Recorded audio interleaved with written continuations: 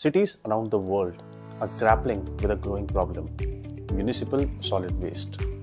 With landfills overflowing and emission rising, we need a sustainable solution that convert this waste into a resource. One such promising technology is MSW torrefaction. Torrefaction is a thermochemical process in which the waste material is heated to remove its moisture content and volatile matter, resulting in a high carbon content fuel known as charcoal or green coal. This green coal can effectively replace fossil fuels like coal in power plants and heating equipments.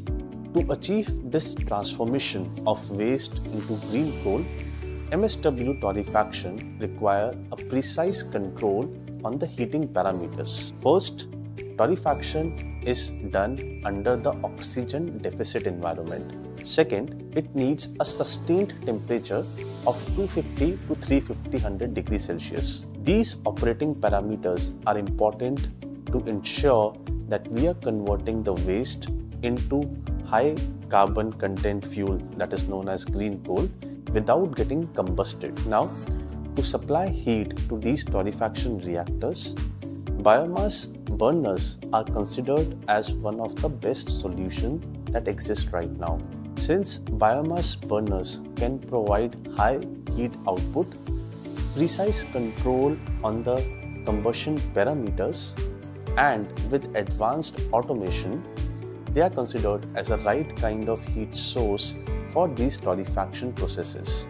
So unlike oil and gas burners, biomass burners relies on biomass waste fuels to produce this heat which further lowers our dependence on fossil fuels and contributing to circular economy.